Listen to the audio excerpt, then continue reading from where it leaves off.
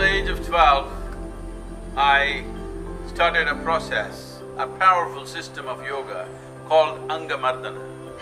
Angamardana literally means to have complete mastery over your limbs. This is a powerful way of strengthening your sinuses.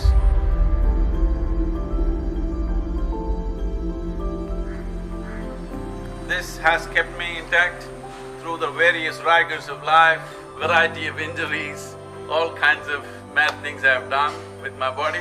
Well, here's my breakfast It's very important that every one of you stay fit, fit for life.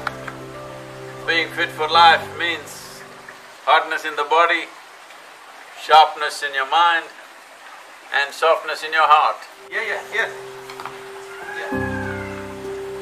To stay fit, I used to play lots of games, but these days the schedules don't allow, and also too many injuries. So I play a bit of golf, and at least once a year, minimum once a year, I'm in the mountains, eighteen to nineteen thousand feet MSL. Well, that's my medical checkup, I have no medical checkups, that's my stress test. You know what that means, if I fail, I fail Today we are offering this powerful system of Angamardana to the world in many different ways.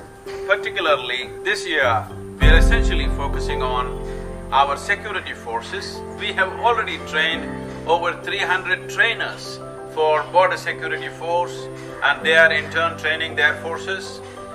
On this International Yoga Day, I will be at Siachen with the Indian Army and we will be training the Indian Army in some aspects of Angamardana, which is a powerful system of yoga.